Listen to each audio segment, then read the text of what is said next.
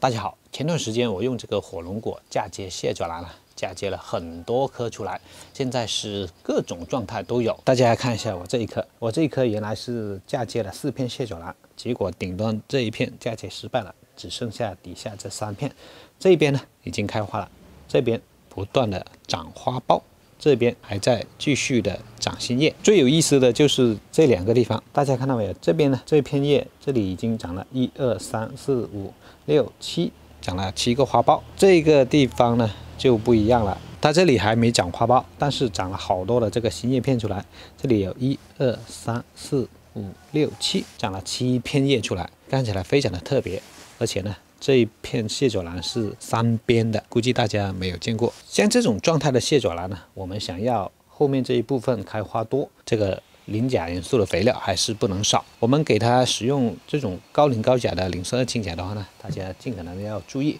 给它喷湿叶片的时候啊，不要喷到这边的这些花苞。啊，只要喷一下这边没有开花的，还有这边这些花苞没有打开的，喷一喷就可以了。同时呢，给它喷一喷这个底部，还有给它浇灌一下这个土壤，这样才能保证后期这一边的这些没有开花的有足够的营养来开花。如果这个时候不按时按量的给肥的话，那么这些养分呢都被这边消耗完了，那么这边这么多叶片后期开花就会变得稀少。如果大家也想要养出更好品质的蟹爪兰的话呢，也不妨尝试一下用火龙果来嫁接。